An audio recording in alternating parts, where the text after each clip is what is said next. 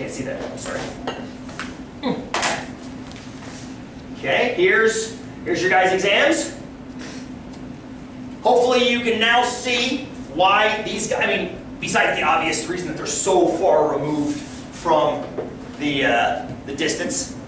Okay, let's back out to, let's back out to, let's look at 105. 105 is a little more fun, I think.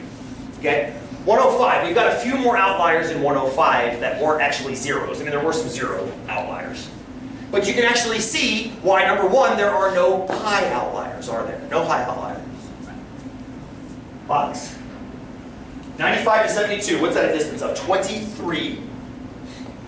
Double, or uh, take 50% more than that, add like 11 onto it, right? So 34, 35, something like that. So good, I like what Jen's doing. I like what Jen's doing better. Yes? Okay? Boom. Somewhere down here. This guy fits in that realm. Those guys don't. Yes? Those guys don't. Of course, that's well within it, yes? You'd have to have 150 or something like that to be a high outlier in that data set. They don't exist. Fair enough? Good. There's 244. Much tighter box plot, yes? Much tighter box plot at 244. Mm-hmm. Only a difference of 12 points. Uh-huh.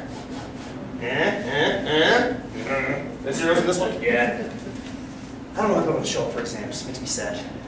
Or don't just don't bring it in. Not even show up, just don't bring it in. Anyway. But then you can see now how we are quant. This is definitely using the box plots and not using not using standard deviations. Do you see why we're not using standard deviations in discussing outliers here? We don't want to discuss standard deviation because these curves are most definitely not not bell-shaped. Highly skewed. 244 is ridiculous. It's almost exponential. You guys are pretty damn close to exponential. 105 is the closest thing we have to a bell curve, and it's not even that close. I mean, it's got this, it's kind of kind of this, and then a drop, like a precipitous drop at the end. So, make sense? All right, let's collect one more data set. I'm going to send you guys loose because you're starting to get quiet. I might, I might, I might fall asleep soon. I don't want to do that. So here's what we're going to do. Can't use my height because I already asked you to do that. Got it. Shoe size.